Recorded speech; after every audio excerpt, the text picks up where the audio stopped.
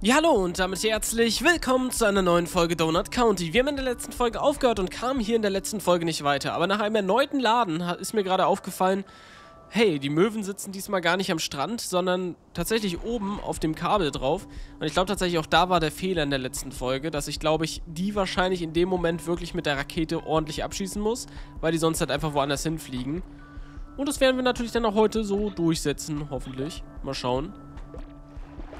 Wie auch immer das funktioniert. So, ich glaube, wir haben eine gut genug Größe auf jeden Fall. Äh, wir zünden das an. dann hoffentlich sind wir schnell genug dort. Ah, sollte gehen. So, seht ihr, was ich meine? Das, ähm, ja, konnte ich in der letzten Folge theoretisch gar nicht mehr schaffen, ohne neu laden, weil halt die Möwen nach einem, ja, wie sagt man, wenn, wenn man das einmal verkackt, landen die halt am Strand. Oh, ein süßes kleines Picknick da oben irgendwie finde ich das richtig cool, da oben drauf zu sitzen und einen, einen richtig schönen Ausblick zu haben, aber irgendwie scheint mir das Ganze auch ein bisschen zu dünn zu sein als Klippe. Also ich hatte so ein bisschen die Angst, dass das alles unter meinem Boden wegbricht. Okay, die Laterne kann ich nicht einsaugen. Kann ich denn überhaupt... Ach so, sie muss ich... Ah, ich muss wahrscheinlich... Ah, okay, ich verstehe. Ich verstehe, was zu tun ist. Tatsächlich tue ich das. So, mal sehen, ob das klappt. genau das meine ich halt, ne? Also ich würde mich an ihrer Stelle jetzt ja vielleicht dort wegbewegen. Aber ich glaube tatsächlich, die Lust dort zu picknicken ist zu hoch. Na, immer noch nicht. Vielleicht muss ich zwei mitnehmen. Ach, warte mal, da sind ein paar... Da sind gerade... Da ist wenigstens ein Stück runtergefallen. Das heißt, ich tue soweit das Richtige, würde ich behaupten. So, komm, jetzt aber. Und runter mit dir. oh Gott. Tja. Ich hab dich, ich, ich hab, ich hab dich gewarnt, ne? Ich hab gesagt, ich würde da jetzt runtergehen an deiner Stelle, aber gut. Dann halt nicht. Dann hör halt nicht auf mich. Oh, da kommt gerade ordentlich Popcorn raus. Zu meinem Vorteil. Weil die nehmen ja mehr Platz ein. Dadurch wird das Loch hier auch größer. So, jetzt erstmal weg mit deinem Auto. Gut, hier hinten liegt nichts mehr. Und dann her mit deinem Job. Warum auch immer, ich verstehe es immer noch nicht, warum der Feuerwerk am Strand verkauft. Ich weiß nicht, wer daran zu viel Interesse hat. Mann, oh Mann. Der schläft tief. Okay, tolle Lieferung. Dankeschön. Boah, wir sind ja schon fast Rang 10, ne? Ob das doch noch weitergeht als Rang 10? Kaum einer hat wirklich Feuerkraft. Klippen sind eine Art Falle, die von Außerirdischen erschaffen wurden.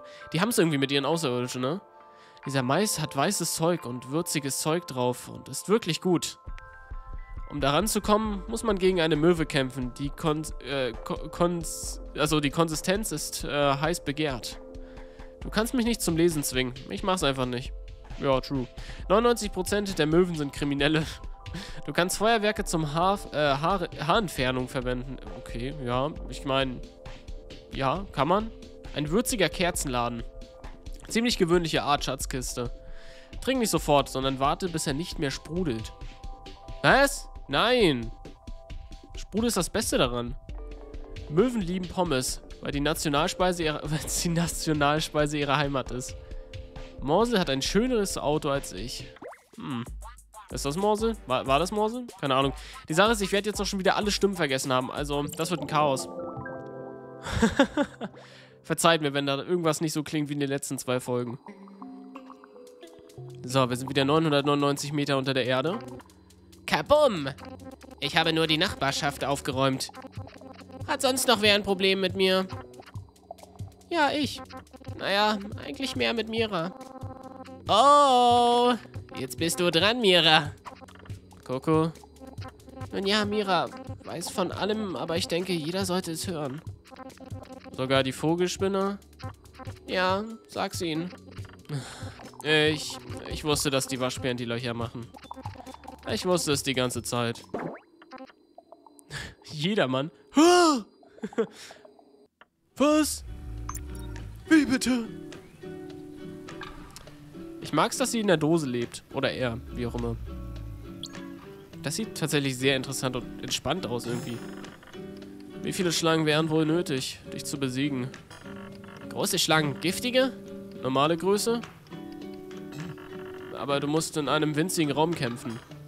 Okay. Ähm, wahrscheinlich 1000 Schlangen? Äh, okay, warte. Okay, erwarte eine baldige Lieferung. Du hast dich doch nicht mit dem ganzen Verschwinden hier befasst, oder? Hm. Nein. Heute ist seit Tagen nicht ans Telefon gegangen. Hast du mit dem Possum gesprochen? Er sagte, er hat Infos.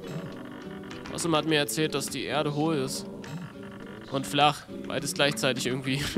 okay. Mira, weißt du, seit diese Waschbären aufgetaucht sind, verschwinden ständig Leute. Und du arbeitest in ihrem Donut-Shop. Was ist dieses Zeichen eigentlich daneben? Keine Ahnung, die Waschbären behandeln mich wirklich gut und BK ist mein Freund. Ich habe einen Donut bestellt. Warum? Ich will wissen, wie sie schmecken. Das ist ein Fehler. Ich muss los. Wir reden bald wieder. Okay. Tja. Das war ein Fehler tatsächlich. Oh, Geckos, cool. Her mit dir.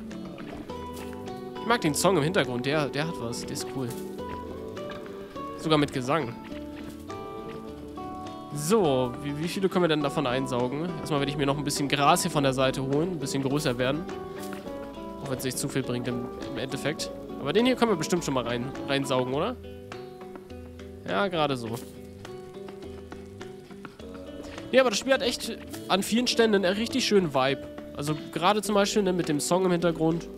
Ich kann mir vorstellen, gerade wenn man das privat spielt und nicht Let's Played, dass man da schon so ein bisschen entspannt nebenbei der Musik lauschen kann, ein paar Sachen einsaugen kann. Ist schon, ist schon ganz, schon ein Comfort-Game, muss man sagen.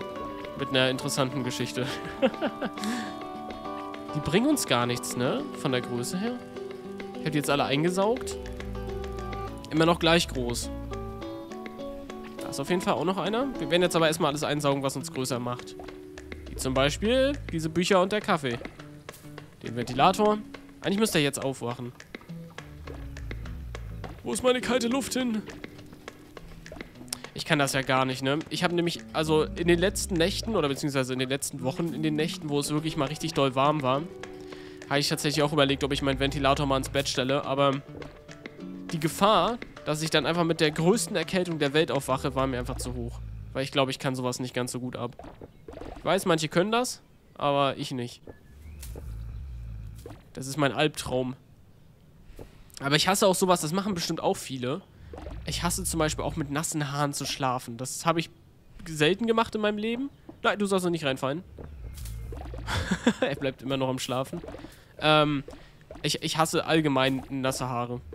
Also seitdem ich vor allem lange Haare habe, ist das der Albtraum überhaupt.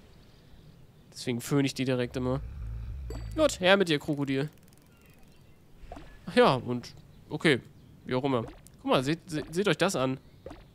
Da machen ein paar Leute Sport und da oben ist eine Katze. Die finde ich super. Okay. Her mit dem Bikini-Bottom-Haus. Das ging ziemlich schnell, muss man sagen. Das hat gar nicht so lange angedauert. Und übrigens, äh, das Krokodil sieht tatsächlich aus wie der Medic aus TF2. Finde ich. Okay, ähm, wahrscheinlich ein Buch mit dem Beweis, dass es Außerirdische gibt. Alter, äh, also wirklich. wahrscheinlich ein Buch über was Langweiliges wie Löffel sammeln. Wie passt er da nur rein? Hält deine Hände warm. Er hat 9999 ungelesene E-Mails. Tja, das könnte auch ich sein. Ähm, damit kannst du deine Kleidung fürs Na Nasswerden bestrafen. Der einzig gute Vogel ist ein Attrappenvogel. Ein Stuhl, der sich wünscht, der wäre ein Bett. Sprich da rein, wenn du wie ein Außerirdischer klingen willst. Oh, das ist wirklich eine Sache. Das menschliche Ohr kann über 100 Lieder hören. Sicherlich mehr als nur das. Ähm, bring den, äh, bring den in dein Haus, um es feucht zu halten. Muss nicht erklärt werden. Der Goldstandard. Stell dir vor, deine Füße wären den ganzen Tag klebrig. Ugh. Wenn ich klebrige Füße hätte, würde ich an der Decke langlaufen und schreien. Was? Ich werde mir klebrige Füße holen. Ich mach's. Du kannst mich nicht abhalten. Coco spielt, den, äh, spielt das den je, äh, jeden Tag, um seine Nachbarn zu ärgern. Ein Xylophon. Tut gar nicht so weh. Das ist Eigentum von Donut County und damit unverzüglich zurückzugeben. Naja, alles klar, Coco. Schauen wir mal nach, ne, worum es jetzt geht. Das ging tatsächlich ziemlich schnell. 999 Meter unter der Erde. Ein weiteres Mal. Es tut mir so leid, Coco. Hm. Es war meine Schuld, dass du im Loch gelandet bist. Ich hätte den Job bei dem Waschbären nie annehmen sollen. Was zum... Ich dachte, wir wären Freunde, Mann. Das dachte ich auch. Aber dann hast du mein, meine Stadt kaputt gemacht. Ah, ich verstehe ich, ich verstehe es einfach nicht. Ich habe versucht, dir zu helfen, als du mich darum gebeten hast. Ich habe für dich das Katapult-Upgrade gekauft. Auch wenn es eine absolute Punkteverschwendung ist. Du hast mir gesagt, dass du mit dem Katapult alle wieder aus dem Loch rausholen kannst. Und jetzt sitzen wir hier im Loch. Oh, neuer Charakter. Oh Gott. Hühner sind keine Punkteverschwendung. Gib Dollop ein Küsschen auf den Kopf. Du hast sie beleidigt. Ah. Nee, lass mal gut sein. Gib mir ein Küsschen. Ah. Nein! Das ist das Mindeste, was du tun kannst, nachdem du alle unsere Eier gestohlen hast. Ich habe deine Eier nicht gestohlen. Sie sind durch, durch den Boden gefallen. Ah. Erzähl einfach deine Geschichte, Jellybean. Die Zeiten auf der Farm waren hart. Ich musste meinen hochgeschätzten Hahn verkaufen, um über die Runden zu kommen. Dollop war sehr sauer. Okay. Ja, ich meine. Hätte sie die nicht eh verkauft eigentlich gefühlt? Na wohl, zum Eierlegen. Na gut. Oh nein, ist am Heulen gewesen. Oh nein. Armer kleiner Hahn. Ich lieb's übrigens, wie der auf dem Motorroller sitzt. Das ist ein Vibe. Das fühle ich. So. Ja, damit. Frage ist, was macht der Waschbär überhaupt hier? Ich meine, Donuts ausfahren wahrscheinlich, aber müssen wir ihn denn jetzt auch einsaugen, den guten BK? Der sich gar nicht als so gut herausstellt. oh. Hier so eine Klingel oder so. Hey, will mir den Grashalm da hinten auch noch holen. Was soll das? Und weg mit dir. Kann ja auch sein, dass das nicht BK ist, sondern irgendein random Waschbär. Oh. Ja. Warum hast du, warum hast du Coco einen Donut gebracht? Er hat einen bestellt? Worin, worin liegt das Problem? BK, das ist zu viel. Zu, zu viel. Du musst sofort das Katapult-Upgrade kaufen und die Dinge in Ordnung bringen. Ja, aber ich muss für meinen Quadcopter sparen. Los, jetzt! Du hast es versprochen. Schon gut. Ich werde alles in Ordnung bringen. Aber du schuldest mir was. Ciao! Ach Gott. Er hätte Schau Schaukakao sagen sollen. Das hätte zu ihm gepasst. Oh, Upgrades! Davon bin ich sehr überzeugt. Okay. Aber wir können uns zwei Sachen kaufen tatsächlich. Wir können uns ein paar Energies kaufen. Paar Mountain Dews. Hätte ich jetzt Lust drauf. Und ein Katapult. Ich werde mir erstmal ein Energy kaufen. Gamer. Tanke Gamer-Treibstoff auf. Oh ja. Was gibt es mehr Gamerhaftes als ein Energy? Ich trinke gar nicht so viele Energies. Vielleicht ein in zwei Monaten oder so. Weil ich finde die meisten ziemlich ranzig. Okay, aber ich trinke eher. Am meisten trinke ich eigentlich nur Wasser oder Limo oder, oder Mate. Nach dem Kauf vom Katapult hast du noch 3 Euro. Ja, durchaus reich. Mann, ich wollte doch den Quadcopter. Was soll das denn? Ich mag's, by the way, dass dieses, ähm, dieses Shop-Menü, was wir gerade hatten, den Hintergrund dort, den, den finde ich sehr cool, weil das tatsächlich eine Stilart ist, die ich tatsächlich öfters auch mal benutze. Finde ich ganz nice. Das ist eine coole Stilart. So. Wir können ja wenig, tatsächlich sehr wenig einsetzen, aber Linksklicke, um das Kutter, äh, Kutter, genau, um das Katapult zu verwenden. Yo, das ist cool. Okay. Interessant. Frage ist, was können wir damit jetzt machen? Ach so, okay, ja. Wir können schon mal das Huhn freilassen. Das ist ja eine Sache. Ah, okay, das sollten wir auch tun, so. Okay. Mal schauen. Jetzt können wir das Huhn auf jeden Fall auch schießen. Da ist eine Glocke dran. Ich wette mal, das Huhn müssen wir wahrscheinlich da reinbekommen, ne? Und dadurch, dass es ziemlich lange fliegt, gehe ich mal davon aus, dass wir wahrscheinlich das Ding einfach hier hochschießen können. Dann das Teil öffnen können. So, willkommen zu Hause. Herzlichen Glückwunsch. Oh, oh, oh, her mit dem... Mm, ich wollte es eigentlich fangen. Mist. Oh, das fange ich jetzt aber. Nein, es ist am Rand zerbrochen. Ah, so, jetzt. Okay, jetzt haben wir ein Ei. Und können das hier rausfeuern. So. Oh, habt ihr gesehen, wie ich das noch gefangen habe? Ah, das hätte ich mal auffangen sollen. Oh nein, die gehen alle kaputt. Tja, diese, diesen Monat kein Umsatz, ne? Habe ich gehört. die klauen wir uns alle mal. Ja, das sind sehr wirklich... Das, das sind einige. Also vor allem auch einige große. Richtige Straußeneier. Gut. Her mit dem Observatorium. Was wahrscheinlich nicht ein Observatorium ist. Her mit dem Auto, her mit dem Truck. Ich nehme jetzt alles mit. Oh, wie cool eine Hühnerstatue. Die kann man bestimmt für viel Geld verticken. Sind das, sind das Orangenbäume im Hintergrund? Das muss irgendwie auch ganz geil sein, so Orangenbäume zu haben und immer so frische Orang frischen Orangensaft fressen zu können. Stelle ich mir ganz geil vor. Aber auch mit Zitronenbäumen oder so. Ich hatte letztens sogar mal überlegt, als ich einen gesehen hatte, äh, ob ich mir für den Balkon einen kleinen Zitronenbaum kaufe.